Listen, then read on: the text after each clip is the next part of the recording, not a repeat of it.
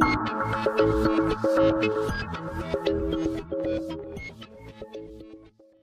आइए हम लोग साइटोनिमा का थैलस स्ट्रक्चर देखते हैं कि इसका थैलस स्ट्रक्चर जो है, वह किस प्रकार का होता है।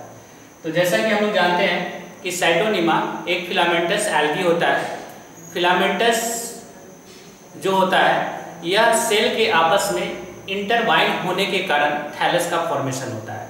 अर्थात इंटरवाइन का मतलब कि बहुत सारे सेल गुथ जाते हैं आपस में तो इसके कारण से जो है सो थैलस का फॉर्मेशन होता है। जैसा कि आप देख रहे हैं कि बहुत सारे जो है सो सेल एक दूसरे से क्या है? इंटरवाइन है। इसका जो थैलस का जो रंग होता है वह नीला, हरी, काले, हरे अथवा पीले भूरे रंग का आपको देखने को मिलेगा। थैलस का जो सेल होता है, उस सेल का जो स्ट्रक्चर होता है वह गोल, अंडाकार अथा तथा वर्गाकार। ये तीनों सेल में जो है सो आपको इसके सेल दिखाई सेल जो है सो आपको देखने को मिलेंगे और जिससे ये पूरा थैलस का फॉर्मेशन हुआ रहता है। थैलस के चारों तरफ़ जो है सो एक म्यूसलीजीनियस सीट पाया जाता है। जैसा कि आप देखो, ये जो है सो थैलस का जो फिलामेंट है, इसके चारों तरफ़ बहुत मोटे मोटे परत पाए जाते हैं।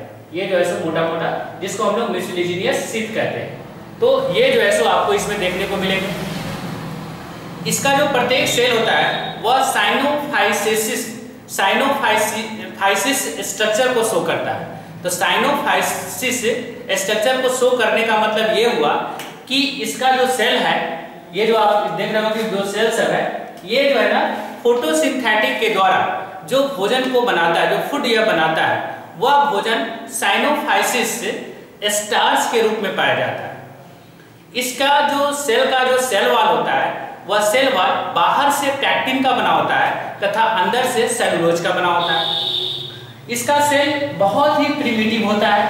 प्रिमिटिव प्रोकैरियोटिक होता है। इसका सेल जो होता है प्रिमिटिव प्रोकैरियोटिक होता है। प्रोकैरियोटिक का मतलब ये हो गया कि इसमें न्यूक्लियर मेम्ब्रेन जो होगा वेल डिफाइंड नहीं होगा। अर्थात इसमें न्यूक्लियर मेम्ब्रेन नहीं पाया जाता है। अर्थात न्यूक्लियोलस का इसमें अभाव रहता है। लेकिन इसका जो जेनेटिक मटेरियल है वह डीएनए के रूप में न्यूक्लियस के अंदर आपको जो है सो देखने को मिलेंगे। इसमें क्लोरोफिल ए तथा क्लोरोफिल सी पाया जाता है।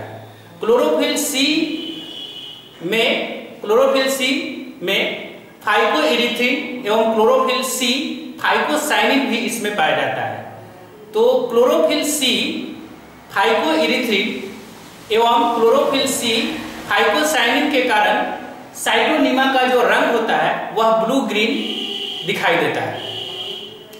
इसके सेल में आपको प्लास्टिक माइट्रोपोन्डिया डिक्टोसोम तथा इंडोप्लाज्मिक रेटिकुलम जैसे ऑर्गेनली जो सेल के अंदर पाए जाते हैं, वह इसमें आपको देखने को नहीं मिलेंगे।